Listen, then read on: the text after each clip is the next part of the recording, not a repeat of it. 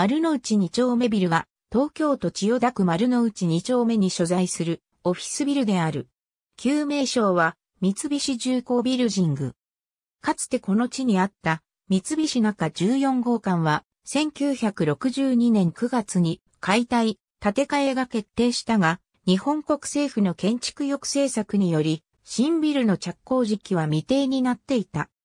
その後建築抑制策が解除され、三菱本館の別館として1963年2月に建設に着手、1964年8月に地下4階、地上9階、延べ床面積23,128平方メートルの規模で竣工した。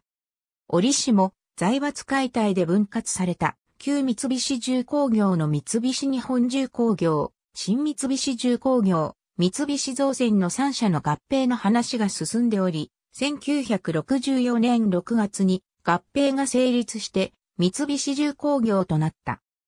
三菱日本重工業と三菱造船は東隣の三菱本館、新三菱重工業は北隣の新三菱重工業ビルに本社を置いており、新会社は本ビルを一棟全面使用することとなった。このため、建物名も三菱重工ビルジングと命名された。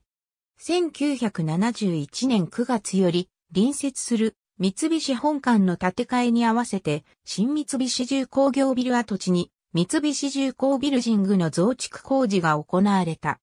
これにより延べ床面積は45,985平方メートルとなり、一機部分の約2倍の規模となった。三菱本館跡に新築された三菱ビルジングとは、低層部で接続している。1974年8月30日には、本ビル正面玄関付近のフラワーポットに仕掛けられた次元爆弾が爆発し、8名が死亡、385名が重軽傷を負うテロ事件が発生している。